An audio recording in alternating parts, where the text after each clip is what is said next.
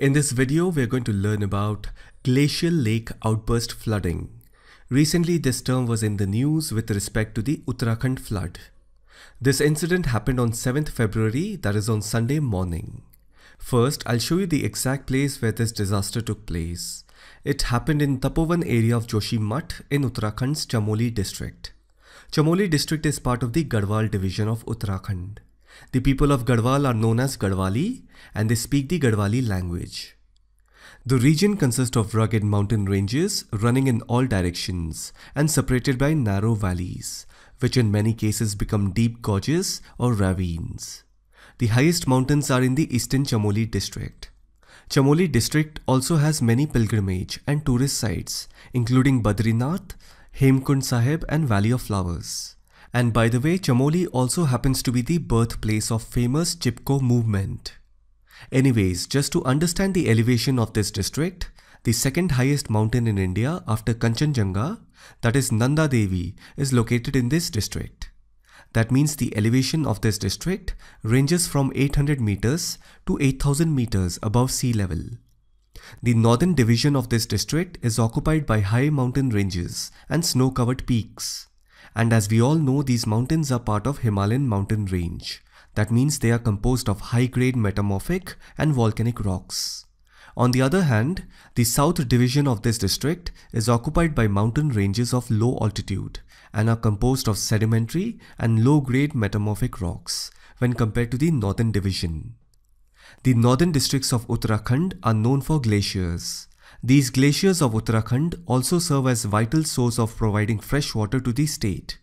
When water comes down from regions of higher elevation to lower elevation, governments often install hydropower projects to tap into more gravitational potential energy for meeting domestic energy demands. Two such hydropower projects by the name of Rishi Ganga Power Project and Tapovan Vishnugad Project have been nearly washed away by the flash flood. The recent Uttarakhand flood actually happened on the Dhauliganga river. Dhauliganga river arises on the Raikana glacier. As I've said in the beginning, the state of Uttarakhand is home to many glaciers. Here are the list of important glaciers in Uttarakhand. We have to look at the glaciers in Garhwal region and more importantly in the Chamoli district which is the Nanda Devi group of glacier. That means a portion of the Nanda Devi glacier broke off on Sunday morning. Now I want you to pay attention. When glaciers melt and they form glacial lake, the water from the lake slowly drains out in the form of a river. Now imagine, even if few massive chunks of glaciers break and fall into the lake, that will not only increase the volume of water in the lake, it will also increase pressure. As a result, water gushes out and causes flash flood in the river. As I've said, the southern division of Chamoli district consists of mountains that are composed of sedimentary and low-grade metamorphic rocks. Naturally, when large volume of water comes down at such a massive speed, it will wash away sediments, rocks and boulders. It will cause massive erosion, landslides and any kind of man-made infrastructure like dam, villages will be washed away.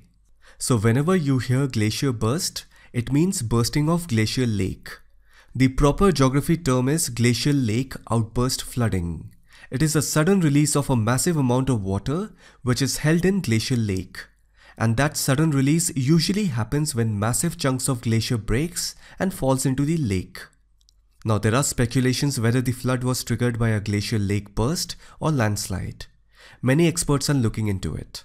However, the aim of this video was to make you understand what is glacial lake outburst and I hope you have also learnt a little bit about the geology of Uttarakhand.